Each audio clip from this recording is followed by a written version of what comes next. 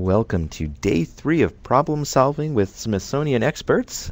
We are so glad you're with us today for Unlocking the Mysteries of the Universe. This is one key theme of four that help define our conference together, and we welcome everyone back who was here with us for parts one and two. If you missed those parts, we have six wonderful sessions recorded for you. You can find those on the program page. But today we begin six more live sessions. Our first session is asking the question Are there other worlds out there? And Lisa Kaltenegger will be our guest. On the top left corner of the screen, you can see a question that she posed to all of us to get us thinking about this topic, and that is What interests you about this search for other worlds or other Earths, other environments, planets like ours. And you can see a number of your colleagues who are with us have begun to pose their own questions and thoughts on this topic. We encourage you to continue to do that throughout. We have a lot of questions and a lot of sharing to do with all of you, and we hope you'll share with us. Here are three ways to do that. I'm bringing it up on your screen right now. Three ways that you can communicate. One is using the chat box on the left side of the screen, as many of you are doing right now.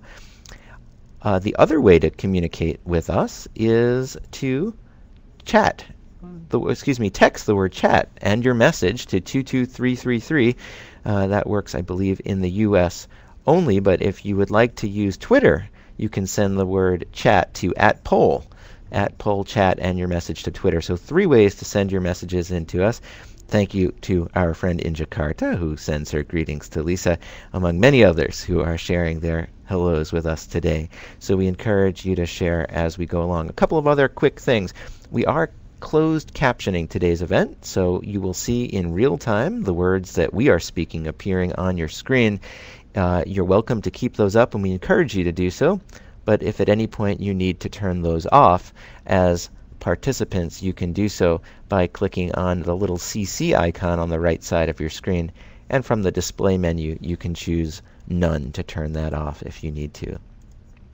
All right, we've got some great questions coming in. Lisa, I'm going to turn to her in a moment so she can begin to ask a few questions of us and explain her great work. One last thing I wanted to mention is we also have on with us Dan Porter, my colleague joining us from the United Kingdom. He is just outside London, if I'm not mistaken, and he is our illustrator here today, trying to capture the imagination of all of us and of Lisa's talk in the form of an illustration. For those of you who were with us a week and a half ago during our session on Who Owns Music, music. Here is Dan Porter's wonderful illustration from that session. So stay tuned at the end. We'll check in with Dan and see how he has captured our interaction in the form of a real time illustration. So thank you, Dan Porter. Glad to have you with us.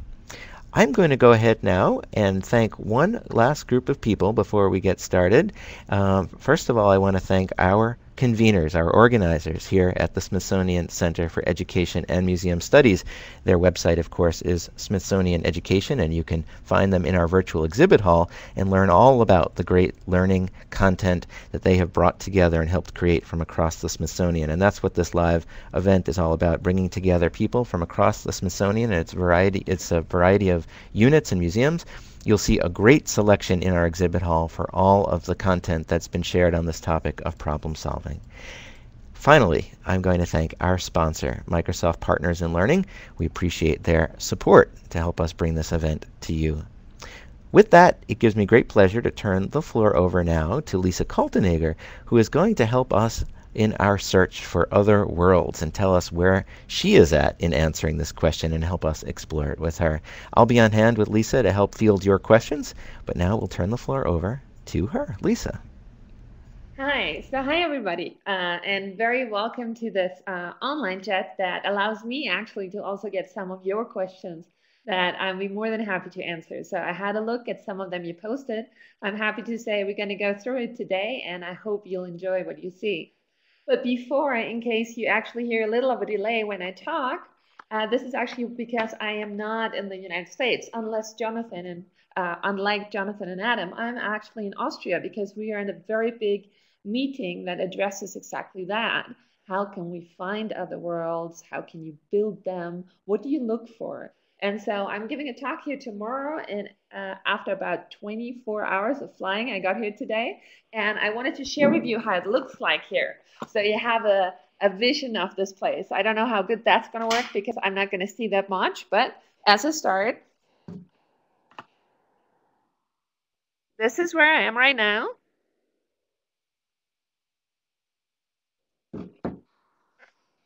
So this is the part in Austria where I am right now. And as you see, we're starting to uh, get really uh, evening light here.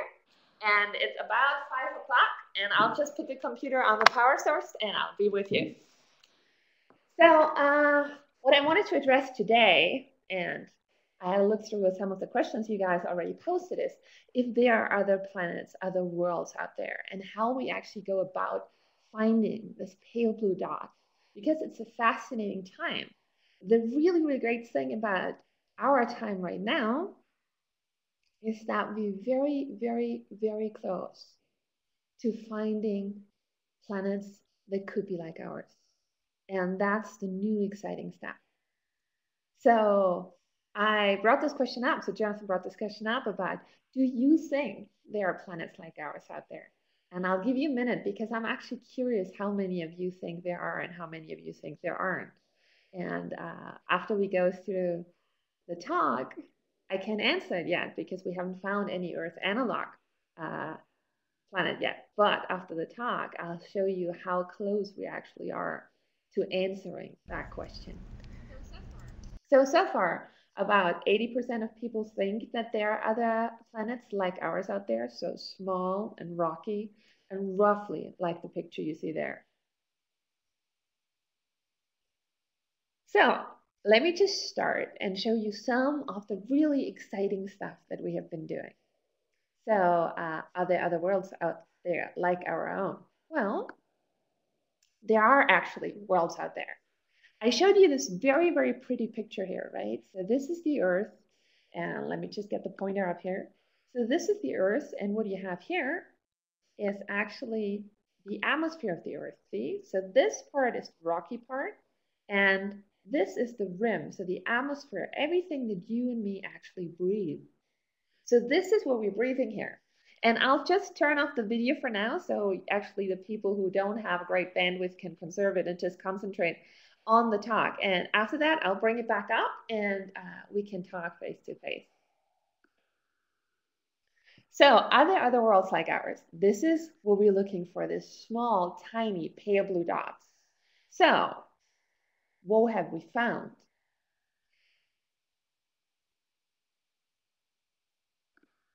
That's actually what we already found. And this is, of course, an artist impression because we do not have any images of these planets yet. But you do see that we have something that is rocky, that's very, very, very close to orbiting its star. So think about it. If you're really close to your star, that means it's incredibly hot. It's basically like a bonfire. So you're very close to it. It's incredibly hot. You're too far away of it from it. It's really, really cold. So you want to be at this perfect distance uh, just where it's not too hot and not too cold. And this is where we look for these planets. This is what we call the habitable zone, where there could be liquid water on the surface of this planet. And I put in a quote here that I really like. One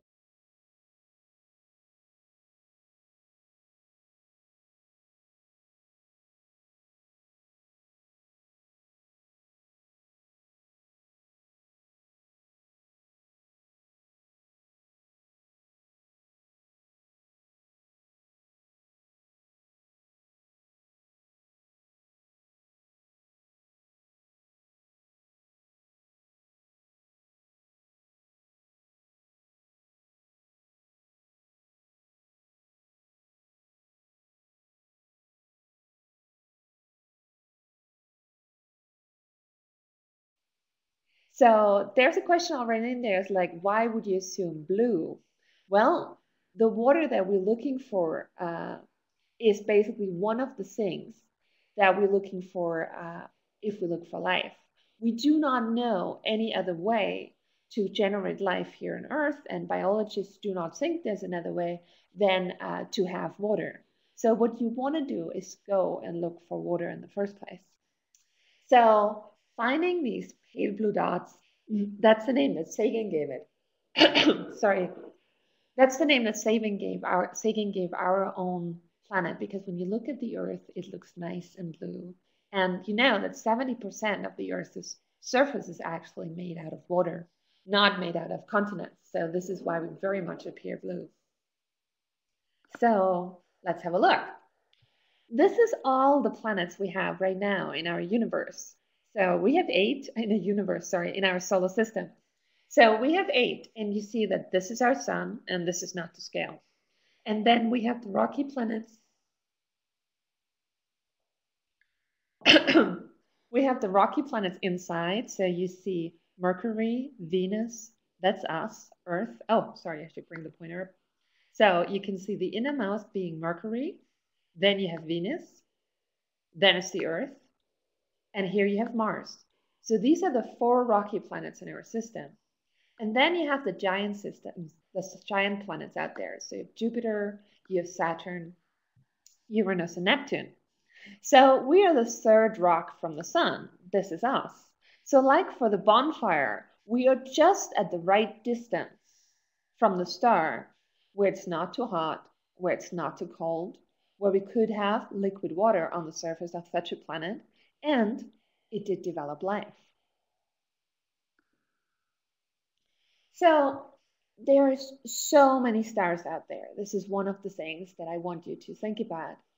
If you actually on the earth put all the grains of sand, all the pebbles, all the rocks, everything you find lying around together, this is not yet the number of stars that are out there.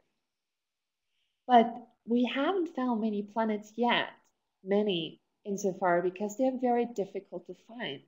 They're very small and they're next to a very bright star.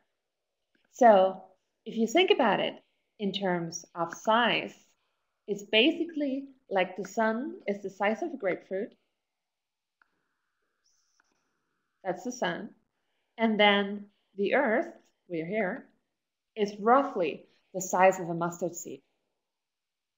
So just think about it. All these points of light that you see in the sky at night, they're stars.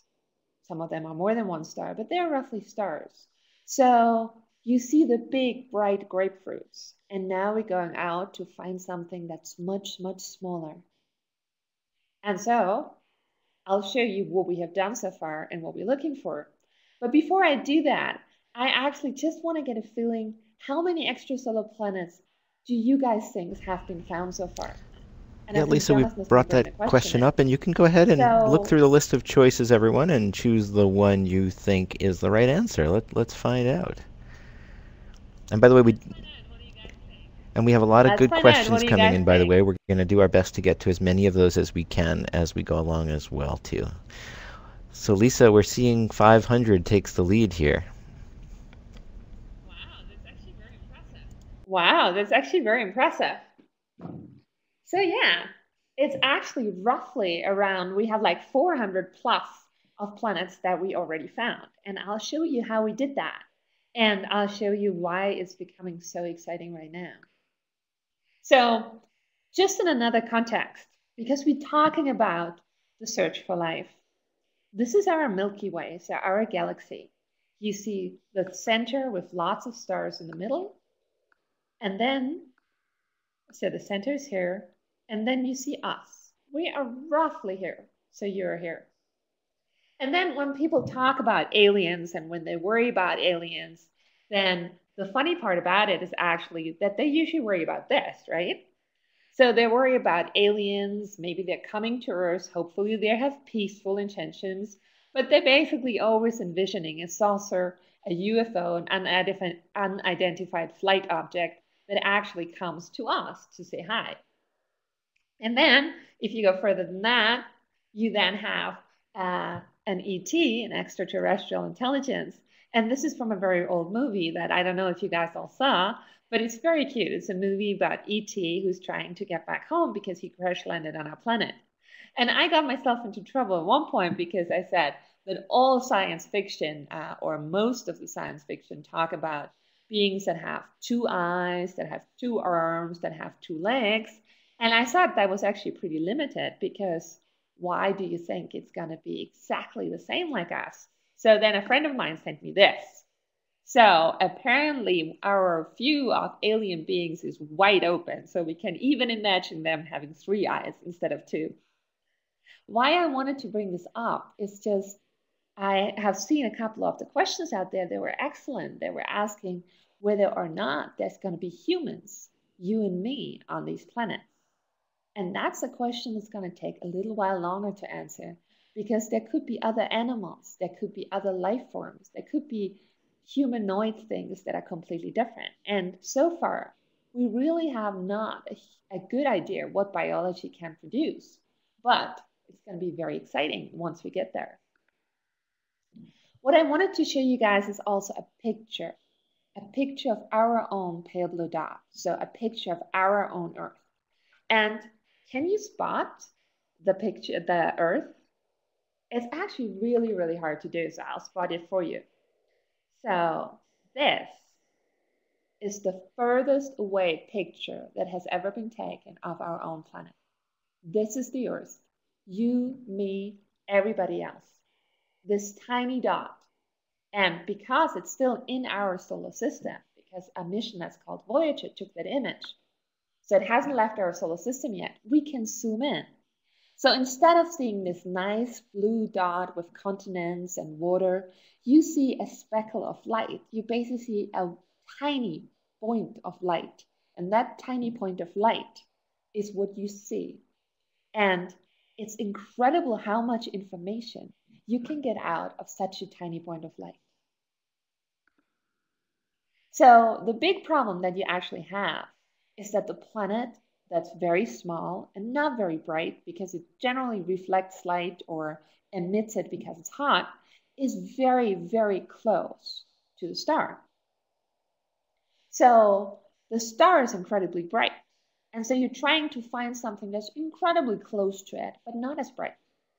So the way you actually have to do is you have to block out the light of the star. And you can either do that by building a mask it's basically like if you're trying to look for something that's really bright and you're shielding your eyes with your hand, that's what we're doing. So we're building a mask that suppresses the light of the star.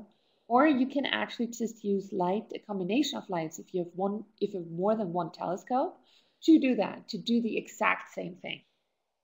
So there are a couple of ways, and in the laboratories, we've actually shown that we can do that. So it's pretty exciting. But once you have this tiny point of light, and here I show you another image from our own Earth, because this is what our own Earth looks like if you look at it from Mars. So again, not very far away, our closest planet over. So this is our Earth and this is our moon. But so if you have this light, or if you have this point of light, how can you say what's going on on such a planet? And there's a trick. And the trick is actually that you can make a fingerprint. Remember that when you go on a crime scene, CSI, or whatever show you watch, that's how they're basically figuring out who the culprit is. So what you do is you split up the light. And I don't know if you've done this in the physics experiments. Usually we're doing the physics experiments in school where you have white light, then you have like a triangle, and it splits up the light from red to blue. It's basically a similar thing that we do. And if you split it up and then just record how intense or how much light you get at this wavelength, so you have a look how much light you get in the blue, where it's blue, that'd be here. Oops, the pointer doesn't like me. So here, and then you just record how bright it is in the red, so you record here. And from that, you can actually say what is in the atmosphere. Because if there's no atmosphere, what you would see is actually very nice smooth curve here. So this smooth curve is what you would see from a planet if there were no atmosphere at all. But as you see in this graph, there's something missing. There's something missing here that indicates that there's carbon dioxide in the atmosphere. There's something missing here that indicates that there's ozone in the atmosphere, so oxygen. And there's something missing here and here and that indicates that there's water. So by splitting up the light, and here it just uh, it's the same if you do it from the blue to the red, or if you do it in the thermal infrared with, where you actually record the heat, then if there's something missing, if there's energy that's absorbed, that's taken out, then you know that there is chemicals in the atmosphere of that planet. And the exciting thing is that exactly where this feature is, exact, for example, here, this is uh, the infrared 15 microns for carbon dioxide, but exactly where it is tells you what chemical it is. So if there's an absorption here, if there's some energy missing here, you can say that that's carbon dioxide. If it's here, you can say that that's ozone. So it's a very telltale fingerprint that tells you what a planet light years away, really, really, really far away, is made out of, the atmosphere of it. And I think that's pretty amazing. So it is a kind of spectral fingerprint. And we record this light. Remember this tiny speckle of light, this spot of light, this white thing. And we split up the light. And then we have a look what the atmosphere is made out of on such an alien planet. So let me just go back a little because I said that it's like splitting up the light that we see from the red to the blue. And I assume many of you have done that in the class. But we actually also using something that we call the infrared light. And the infrared light is where you actually see heat. So I don't know if you've ever had these infrared goggles where you can actually see people at night because they're hotter than the surrounding area. So there's these red things that walk around. It's basically the same idea. Soldiers use it a lot. But so what you see here, for example, is a coffee cup, right? And the coffee cup here, well, it um, is sitting there, or it's tea, whatever you like, or hot chocolate. But so it would be really useful to know whether or not you have to put it in the microwave or not, right? But we see in the visible because the sun gives most of its energy in the visible. So our eyes have adapted through evolution. So we see in the visible. But if we could see the infrared, you could see things that are hot. And you'd immediately know if the coffee needs to go in the microwave or not. So, if you have that, there's a couple of useful things. For example, if you have your shoe and you really want to consider whether or not you should take some time before you put it back on. In this case, you should because it's really hot inside still, so you might want to air it out. But just to give you an idea what we're doing, so if we look in the visible where you and I see, we can see certain things. And then if we look in the infrared, we can see heat. We know if this thing is hot or if this thing is cold. And we can, again, in both wavelengths range, actually do see whether or not there are chemicals in the atmosphere, telltale signs of life, as I will show you in a little. So, you have this dot of light and you split out the light. And this is the visible wavelength range on the left. And then you have the infrared wavelength range on the right. So this is the visible where you and I see, and this is the infrared. And this curve here, how much energy you actually get in the infrared, tells you roughly how hot the planet is. So voila, you already know roughly how hot it is there. And again, everything that's taken out here, you see the things missing, there's something missing here, there's something missing here. Exactly where it's missing tells you what atmosphere is on that planet. And in our case, with small telescopes, the next generation of things we're building, about three meter in space, uh, three times three meter, or about a six meter telescope that is actually one single dish, you can see that there's carbon dioxide, ozone, water, and methane. So it's pretty exciting because you have the most important gases already right there. So how do we actually find planets? Well, right now we haven't really found so many in terms of uh, actually looking at them. And actually, uh, Jonathan is going to bring the other uh, animation back in because the other animation is what I'm going to show you first, the one on the left corner. So if a planet actually goes around a star, what it does, it actually pulls and tugs at that star. And by tugging at that star, the star moves. And this is what we can actually observe. So we see the star wobble back and forth. And then if by chance, if you have a look at this animation again, if by chance the star actually, the planet actually goes by chance between you and me. So you see here, you don't see any blockage of light of the star. But if by chance the planet goes within our line of sight, so it comes between us and the star, we see for a certain amount of time the star being a little dimmer. And this is what you can see here on the right. So the planet goes in front of the star, and you see that the light from the star, because we can't see the planet really yet, gets dimmer periodically whenever the planet goes in front of it. So during that time, the planet, the star is just a little bit dimmer. And this is what we can do. So we either have a look if something tugs at the star, so we get how massive the planet is that goes around it, or we have a look if a star periodically dims, and that tells you how big the planet is, because the bigger the planet, the more the star is going to dim, right? So if you think about that, this is what we use to find more than 400 other planets out there. So we know about more than 400 other worlds already out there. Most of them are huge. Because just think about it. It's so much easier to find the big things. Whether it is because the star wobbles, something bigger is just going to tug it so much more, so it's going to be so much easier to find, or because it actually blocks out stellar light. So if the planet is bigger, it blocks out more stellar light, and thus it's going to be easier to find. But still, if there are the same amount of big planets and the same amount of small planets the, uh, out there around other stars, that would tell you that we should have found a lot, a lot, a lot of the big planets. And the really curious thing is, we're finding more and more of the small ones. So if you have a look at the graph that I just brought in on the left, what you see here is the mass of the planet. This is this axis. So big mass of the planet is here on the right.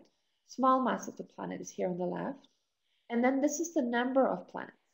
And this graph is a tad outdated, but roughly it's the same thing.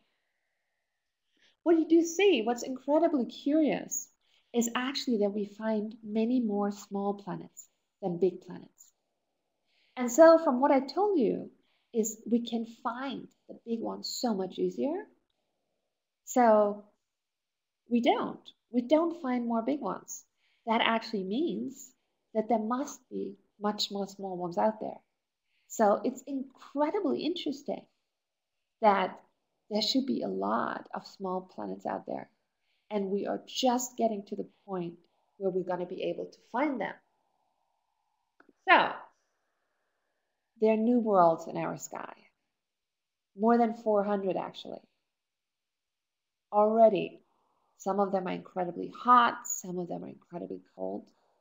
And the first couple of them actually now start to be smaller and potentially rocky. This graph that I brought in is what we can do right now. And I'll walk you from there to what we're going to be able to do in the future.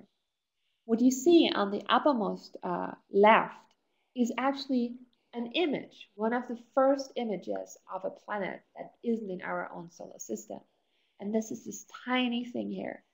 It's actually in here in the disk. So we blocked out the star.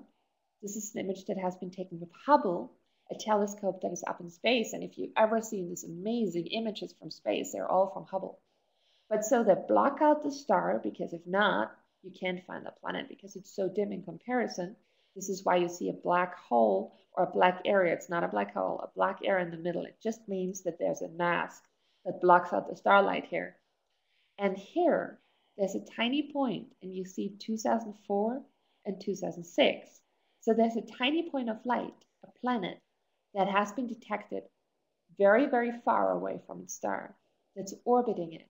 So that's going around the star like the Earth is going around the sun. But it's very, very far away from its star but it's the image of the first big planet that we found. And then the other thing that I'm going to show in a little is that when the planet actually blocks out light, when it goes in front of the star, there's this tiny point, this tiny area here, the atmosphere of the planet, that we saw in the beginning on our own Earth, right? This tiny, tiny area. And what you see is that while the planet goes in front of the star, part of the starlight comes or basically passes through the atmosphere of the planet. When the, when the planet is solid here, it's blocked out, but part of the light from the star gets modified because it actually passes through the atmosphere. Uh, through the atmosphere of the planet, sorry. And so this is what we can do right now, and I'll show you in the next few slides how we do this. And this is what we're going to be doing next. So what we want to do is actually find these smaller planets closer to their star so they could be habitable. And we want to get the part of the light that goes through the atmosphere for one of these smaller planets. So, if you have that, well, what do you do? The really, really curious thing is what we're finding right now is things that are somewhere between a gas giant, like Neptune, Jupiter, Saturn, the things that are really fluffy. And if you had a huge, huge basin of water, uh, a bath tube of the universe, and you plug it in, you just there, Saturn, Saturn would swim. The Earth, because it's rocky, would sink. But we're finding right now things that are in between that we don't know about because we don't have any of them in our own solar system. So some that are about 10 times the Earth's mass. And so we keep calling them super Earth in case they're rocky. And maybe they're mini Neptunes, so just a smaller version of the giant planets. But in case they're rocky, they could be the first habitable worlds that we actually already finding. And I'll show you a trick how we can figure out if they could be habitats. So if there actually could be things like life on there. So let's get started. Signs of life on an Earth-like planet. Hmm, and here Noah actually figuring, trying to figure out how I know this. Well, we have a sample of one. That's our own Earth. And that's what we actually try that's what we're using. That's what we're trying to use to figure out how to look for life out there. So, we think you need water for life. So, you can look for water on this planet. Then, plants produce oxygen and ozone. Bacteria produces something that's called nitrous oxide. And there's some other things that are confusing because you have carbon dioxide and methane there could be indications for life, but they don't have to be. And if you have a very big telescope, you can see surface features. And so there was just a question that came up. I just saw this in the uh, corner of my eyes that was saying about if we found, oh yeah, so basically Trisha was asking if we actually found other planets or just their atmospheres. So actually it's much easier to find the planet because it blocks out the light of the star, right? So it's this huge planet that blocks out the light of the star.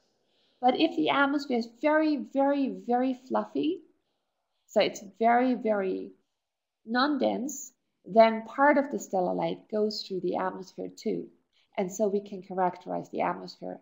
It's a much harder thing to do than finding the planet but we have two cases, maybe three cases where we've already done that. But they're huge, like Jupiter, bigger than Jupiter actually.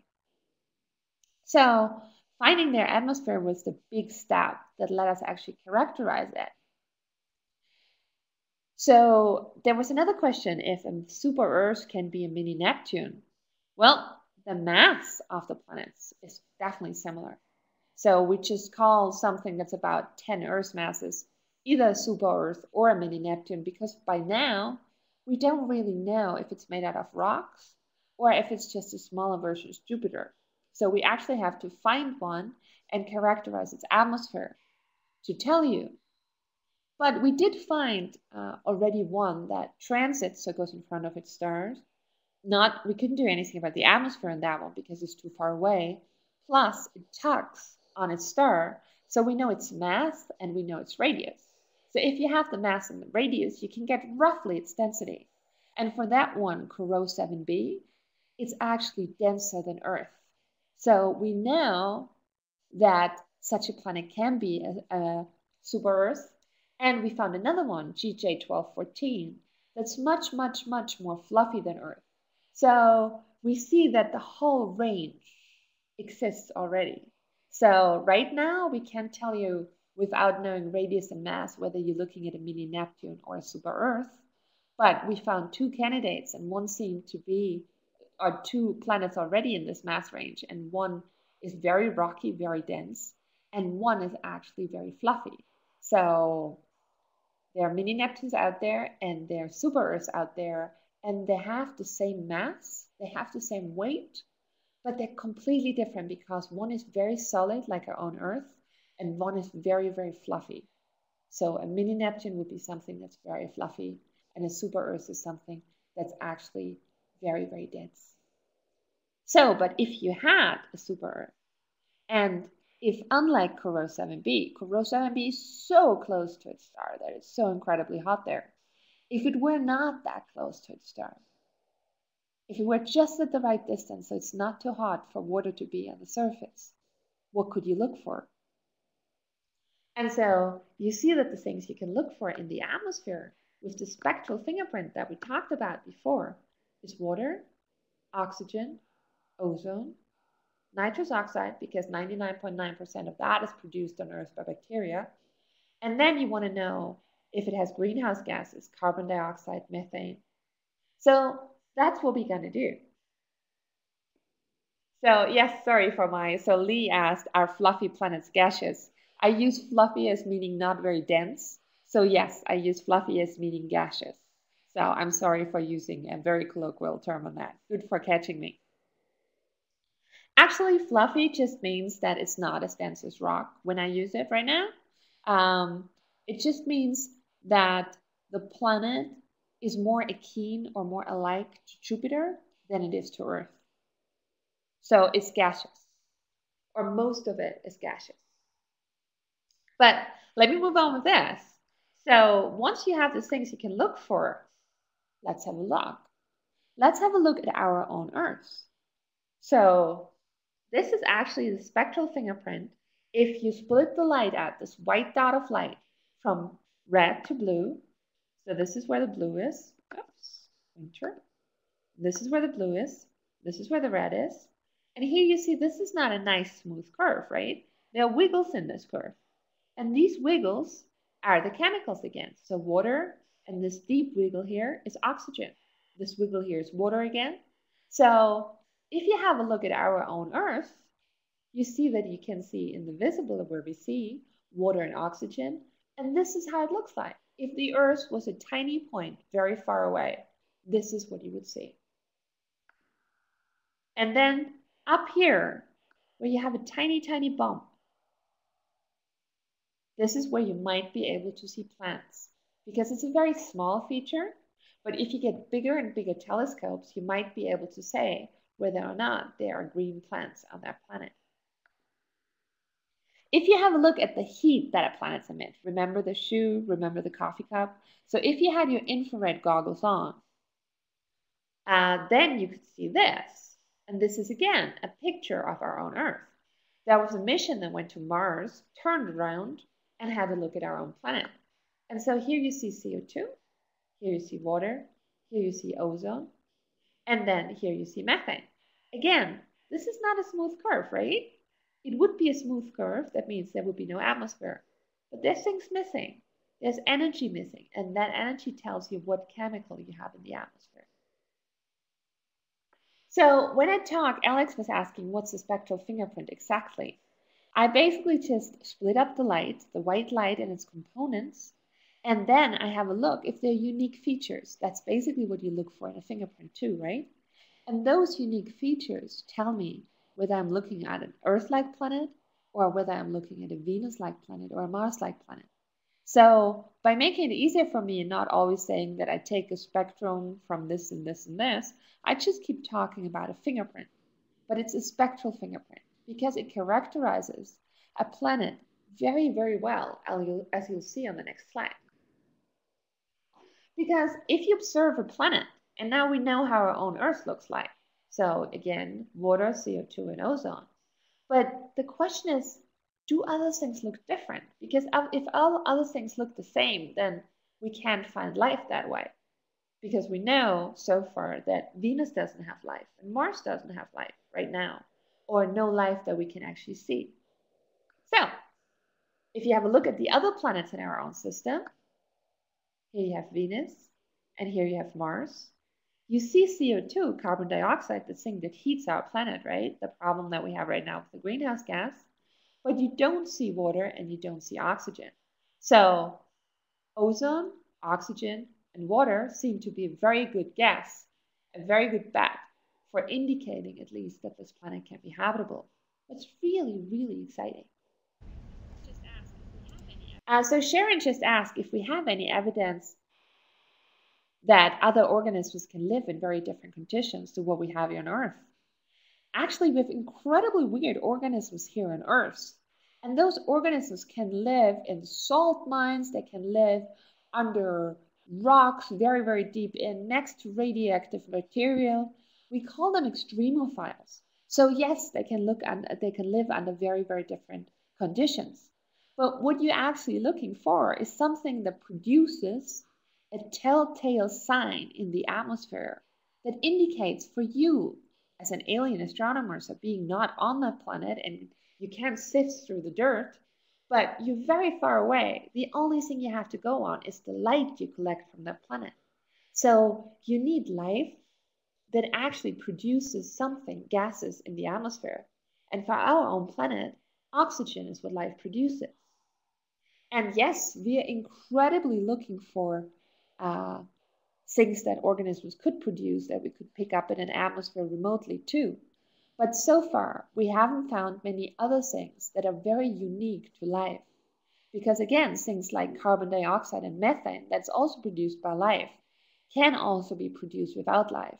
And so the big thing here is that you have to find some signatures that actually tell you that there is life or that there's a huge chance that there's life not just that there could be life, but it could also be something else. Because if you can't go there for now, you want to be able to actually say, okay, I'm pretty sure there's life, or, well, there could be or there could not be, right?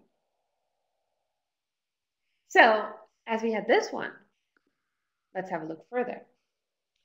Well, this is a very complicated graph, so don't worry too much about it. This is again our own Earth. And I just wanted to bring up the point that water takes out here this absorption and here this.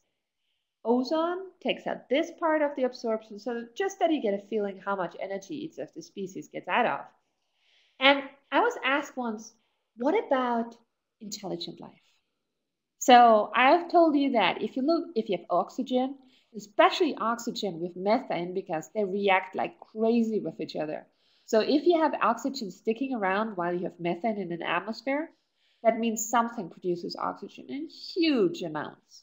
And so that, so far, on a temperate planet like ours, we only know life to be able to do that. But if you go further and you want to actually have a look at intelligent life, what could you look for? And what comes up there is man made gases. And so we ran a very funny exercise We were saying, well, what kind of gases have we made? And we actually have fridges, and fridges produce something that's called freons. Freons are man-made gases that we put out in the atmosphere, but was a very, very bad idea because they actually destroy our ozone layer, which is really not good. But up here, this tiny, tiny blip here, and you don't see it very well, but here, trust me, there's one here and there's one here, tiny one. These are the things that freons would actually show. So if somebody or if another alien civilization hadn't figured out that freon actually destroys the ozone hole and had much more of it still in the atmosphere, the species would be deeper and potentially detectable. Question is, of course, then if we still say that they're intelligent, because if you destroy the thing that shelters you from UV radiation, that's probably not a good sign for you. So for the first generation missions, we're not going to be able to do these tiny things like freons, like man-made gases. But we're going to be able to do the big signs of life. And the really cool thing about it too, so on the right, again, this is the spectral fingerprint of our own Earth. And this is with a small telescope. So here you see CO2, ozone, water. But if you just could stare a little longer, then you can actually see that here you have a blip in the CO2 feature. And that tells you about our atmosphere. That tells you that somewhere in our atmosphere, it gets hotter again. It gets colder and then it gets hotter again. So it's very cool what you can read out from something like that. So yes, there was another really good question. A couple of questions coming up here actually. Has any life been able to be produced without oxygen? And before that is, weren't there any experiments done that actually uh, tried to figure out what life could produce? Yes, there's a lot of experiments that have been done that we were trying to get uh, to figure out what we could be looking for. And the really, really hard thing there is that so far we can't make life in the laboratory. That's going to be one of the other great breakthroughs that hopefully going to come in the next couple of years. Because as soon as you can make life, you can put other stuff in it and see if if you don't have water or if you don't have carbon, life would actually produce something else. And uh, we are not there yet. But the other question is also has there been any life before we had oxygen or life that doesn't produce oxygen? There's a lot of it. There's bacteria that produces methane, methanogens. There's bacteria that produces CO2. There's bacteria that produces nitrous oxide. Lots of life does not produce oxygen. But as I said before, the big problem is that for methane and carbon dioxide, you don't need life to produce it. So I can look for it and it's going to be interesting. But there always will be the question whether or not there could be a, a logical explanation doesn't involve life at all. Okay, hmm. actually, before we go any further, I would like to bring another question in. And that is like, do you think such life will be like us? And it's just a yes no question. Jonathan is going to bring it in right now. So I'm just curious what do you guys think because I can tell you no, yes, no, yes. I'm just really curious what do you think about this because we are trying to figure this out. We are trying to figure out if life will be like us or if life will be very different.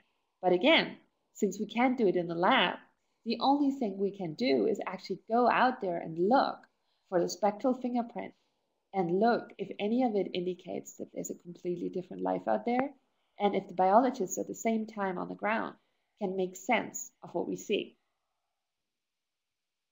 So let me go a little further. I told you before that some of these planets, so we found about 400 planets, and about 50, 60 of those, up to 80 actually, I think we're between 60 and 80 right now, uh, actually transit its star. So they go in front of the star and thus block out some of the light. And for this subset, we know the radius because it goes in front of the star, and the mass because it keeps tugging on the star, right? So, but only for about three of those have we come to the point because they are so fluffy. They have a gaseous envelope, a gas atmosphere. It's not like on the Earth 100 kilometers, but thousands of kilometers. So much, much more gas on top of this planet. That some of the light that goes through that tiny ring, the atmosphere, actually has been observed. And you see here again, these telltale absorption feature that I was talking to you about before. And here, for example, you see water. And then in here, you see water and methane. So this planet is nothing like ours because it's bigger than Jupiter, it's hotter than Jupiter. But we can start to read its spectral fingerprint. What's amazing, and if we find a smaller planet, when our telescopes get bigger so that we can do this for the smaller planets, we can look for this really, really, really cool signs that could indicate life. And so this was done in 2007 for EGP's extrasolar giant planets. And this is how you and me would look like. And I have a formula down on the bottom here in case you're more interested what it depends on, but don't worry about it for now. So what you do see is that this is what we would look like. So our atmosphere, when the planet goes in front of the star, would also show things like carbon dioxide, water, ozone, and methane. So whether this planet goes in front of the star, so blocks out some of the light, and we can get the spectrum that way, for some of them, we'll be able to do that with the follow-up of Hubble if we're really lucky and they're really close. And if they're bigger, it helps too. So if some of these super Earths are around our closest stars, we'll be able to do something like this to make a picture, not as great in resolution, you know, you see a lot of wiggles in this, in this picture, but we'll be able to create the spectral fingerprint for a planet and figure out whether or not it is like our own planet. And the follow-up telescope, the one after Hubble, is supposed to launch by 2014 right now. So think about it. You only have to wait a couple of years to answer this, if we're really lucky. If none of the closest stars has one of these planets, then we'll have to wait a little longer until we actually uh, get a mission that can block out the stellar light. So this is 2014 plus. And one of the things that we're talking about, and I Googled this, is this habitable zone. So you have to be at the exact right distance from the star, not to be too cold, not to be too hot. So it's basically a Goldilocks zone. And this is, as Google puts it, or a picture in Google puts it, the interesting bit. But of course, now, after you guys probably have been to the movies, you can see that it's not only a planet that's the right size in this zone, but potentially even a planet that actually has a moon around it in this zone that could be a habitat. So this is the other part of the picture you didn't see before. Before I showed you everything until here to show the mini Neptune super Earth. But maybe one of these moons could be something like Cameron envisioned. I need your help.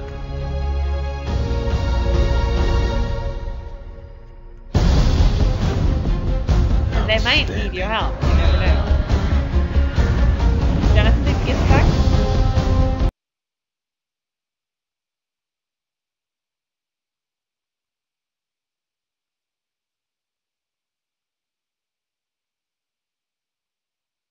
What I love about the movie is not the story and uh, well, even so, like that that is good too. But it just shows you that we have no idea how amazing, how amazing these worlds could be, and how different these worlds could be. So everything is still in that ballpark. And so this is why I was curious: what kinds of worlds do you think we will find? And if we find an Earth, and this goes back to a question we had before, if we find an Earth how could we actually say if there's uh, bacteria up there or something that's evolved like you and me? So, who is there? Bacteria, dinosaurs, or maybe a very evolved species. And in case you don't know, this is actually Einstein. So, Earth formed about 4.6 billion years ago. And it took about two and a half billion years until there was life that produced oxygen. Before that, there was still life, but it didn't produce oxygen, so we couldn't distinguish it from anything that was non life. And then up here, if you have a look, just in case you want to go and find somebody like you and me, this is how long, if this whole thing is a 24 hour clock, this is how long you and me have been around. Up here, see? A couple of seconds before midnight. So we want to know how we can find life in the early stages and how life would look like once it starts to form and once then it becomes more complex. And it creates, again, these spectral fingerprints, very unique features that tell you how old that planet is and whether or not you have evolved life out there, assuming that it's similar to ours. So, what you see here is the top uh, bar here is the Earth being very young, about 4 billion years ago. And then down here, it's about 2 billion years ago, half its age for now. And you see oxygen and methane. So that basically indicates to you that there's life on this planet. And this is how we look right now. And we have a couple of amazing telescopes out there uh, that actually are looking for planets like ours, but they're looking by trying to figure out if the stars get periodically dimmer. And I think we have a couple more polls on this. Jonathan? You bet. Uh, Lisa, we're going to bring up a couple of polls, and I'm going to ask you uh, one or two quick questions. We'll do a lightning round with a few more questions, and you were fantastic about uh, addressing questions as they came in, so thank ahead, you. Sorry. Um, th- there's a, a, question about this idea of an alternate reality, uh, this uh, suggestion that, for example, when the ships came from the New World uh, to the New World, that, that because large ships were unfamiliar, people didn't even notice them, was the, the, the comment comment that I believe Wendy made. Um, is it possible that we're too fixed, is the question, on our own reality, not to uh, be open to other kinds of um, uh, life sustaining systems beyond our own? I think the best uh, example of that that I know from science fiction is when they said, what about if the time scales are so different? What about if the movement of such a species, if I think in that science fiction book, it was a rock. We perceive this thing as a rock because it just moved every thousand years, right? So I think if the timescales are very different, we might not notice. But other than that, we're trying to keep our eye, our eyes and every other senses actually open very much and try to expect the unexpected. But if you go and look, you do want to look for something that you know how to find, and everything else is well, well put. Thank you for addressing that. We have a question up on the screen asking people if it would change our life here on Earth if we found life on another planet, and we're finding that the vast majority of uh, people in our vast audience today do think it would change us profoundly. Um, we're going to take one more question, and then I'm so glad you talked about imagination and uh, thinking differently because that is essentially our next topic, which will be starting in about three minutes. Um, but uh, one last question. There were so many good ones here. Um, you talked uh, a little bit earlier, uh, a, lot about the spectral fingerprints, and there are some people wondering what strength uh, telescopes, uh, what greater strength telescopes will do uh, in the short term. You have a picture uh, of some of them here. What can we expect in terms of new technology and your ability to detect other life, of life on other planets? So for now, the ones we have up there are going to find planets the right size. So they're going to find planets like the Earth but we need the next generation that can block out the star or read the atmosphere to tell you whether it's Venus or whether it's an Earth. So there are worlds without ends out there.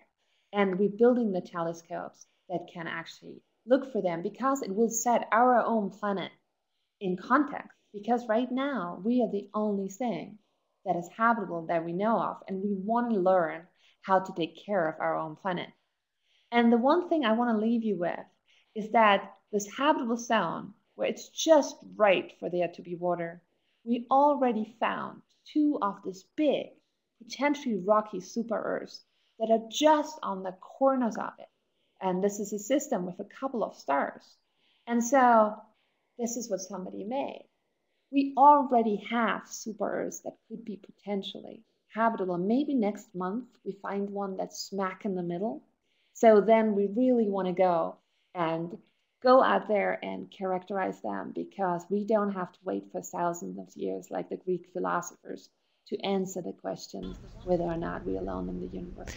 Lisa, thank you uh, so much for joining us from Austria today after a long journey, uh, which doesn't seem so long after your discussion about our great distances from these other worlds today. So we want to thank you and thanks for joining us again on camera to share your smile with us.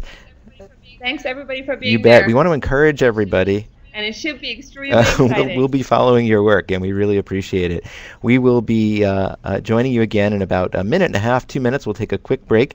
Uh, we'll be joined by Margaret Weitekamp, who is here with us at the Smithsonian. She's a curator in the Division of Space History, and she is going to hook onto this theme of imagination, uh, and we're going to talk about how we have imagined other worlds. And I think you're going to find it a really wonderful transition from Lisa's talk. So stay tuned, and don't forget that the discussion can continue in the discussion area for Lisa's session underneath her program description, the same page you used to enter our discussion today. So use that. And do also know that the exhibit hall has some fantastic clips from the SAO uh, where you will see Lisa's uh, answering a lot of questions that came up today as well.